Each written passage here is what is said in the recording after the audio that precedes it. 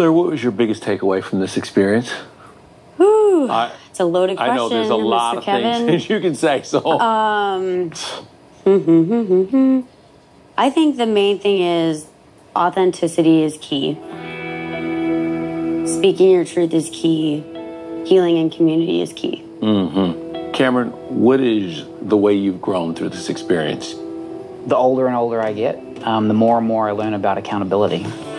We all make mistakes. None of us are perfect. But learning and taking accountability is the most important. I grew in ways I didn't even know I needed to grow. I thought I'd come so far in my just overall healing journey, and then don't ask for opportunities to grow if you're not ready for them. And I asked for those opportunities to grow, and I was given every single one, and uh, it was transformational for me. Yeah. My biggest strength and weakness is always trying to see the best in people. And I will never try to fall for the potential. And always remember what you see is what you get. Mm-hmm.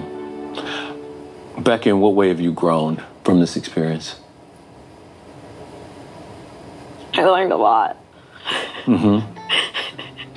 I think I learned to not chase something that doesn't chase me. hmm And I already knew that, but it's just to remember what I deserve and remember who I am and just hold true to that. I think the biggest takeaway for me is being more mindful of what I might have considered the small and innocuous things, and that just because I may have thought that oh it was just something done in passing doesn't mean that it doesn't have a reverberating effect on someone. I think I could use that, that lesson as well. Yours to take. I mean, something that obviously was an issue between us was intimacy and recognizing the other's love language and trying to adapt to that. I wish I could have better adapted to that so I could have shown her and separated what was real and what wasn't. hmm Well said. Um, Orion, um, what lessons did you learn? how to be more clear in the things I'm saying and to be uh, even more clear about the intention of what I'm saying. I've learned to trust myself, to trust my first instinct, and I will never miss out on love by giving love freely. I'm grateful. I sit here, I'm not angry, I'm not sad, I'm not resentful, I'm not remorseful. I'm just overwhelmingly happy with my life right now. hmm That's fantastic.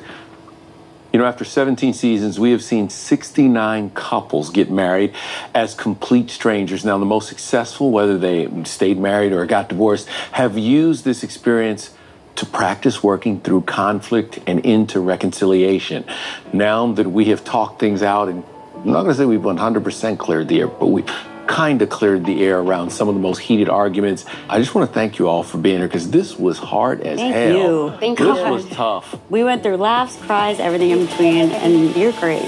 Whether y'all agreed or not, I wanted everybody to have a chance to say their piece, and then you can move on. And I want you all to move on.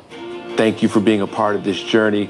We wouldn't be here if it weren't for your courage in marrying a complete stranger and living it out for all of us to see. We have had a chance to cover everything that we could talk about with the Denver season of Married at First Sight.